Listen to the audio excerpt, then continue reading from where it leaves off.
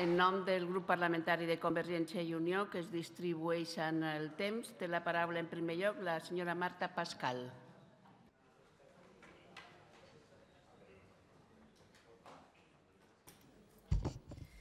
Gràcies, gràcies presidenta, senyor conseller, senyora consellera, diputats, diputades. Abans de començar, permetin-me que els digui que és per mi un gran honor poder-me dirigir per primera vegada a tota la ciutadania i en aquest Parlament com a diputada. Dir-los també que des del grup parlamentari de Convergència i Unió ens repartirem la intervenció amb la companya i diputada d'Unió, Mercè Jou. Així doncs, prec la paraula en nom de Convergència Democràtica de Catalunya i els anuncio que els nostres diputats i diputades tindran llibertat de vot pel que fa als punts 1, 2 i 3 d'aquesta moció.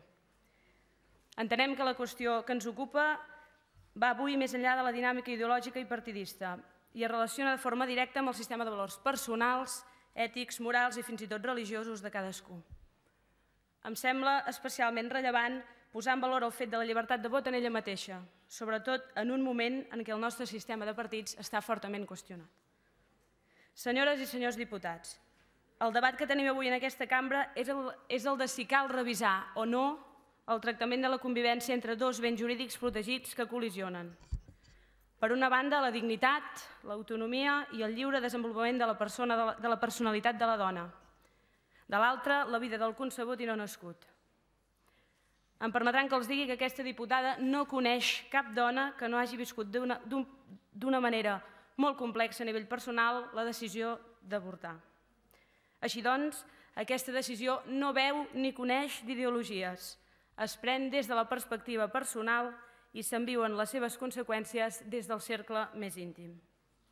Caldria fer palès que en els darrers tres anys d'aplicació d'aquesta llei no consten problemes substancials pel que fa a la seva aplicació, no hi ha hagut un augment del nombre d'avortaments. Els professionals no han plantejat problemes en la seva posada en marxa i el sistema s'ha fet més transparent.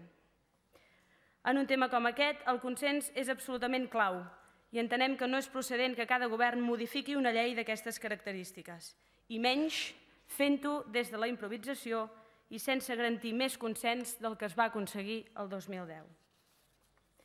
Per acabar, en aquest debat cal defugir de falsos progressismes i tenir clar el duríssim impacte sobre la dona que té una decisió com aquesta. I en aquest sentit, i per ser coherents amb aquesta realitat, és indispensable que sigui quina sigui la decisió que prengui cada dona, aquesta no sigui titllada de bona o dolenta, de positiva o de negativa. Simplement ha de ser respectada. És clau preservar el dret de cada dona al propi cos i a la pròpia decisió. El reitero, doncs, que des de Convergència Democràtica de Catalunya donarem llibertat de vot als nostres diputats i diputades pel que fa als punts 1, 2 i 3 de la moció. Moltes gràcies, senyora presidenta, senyor conseller, senyores i senyors diputats.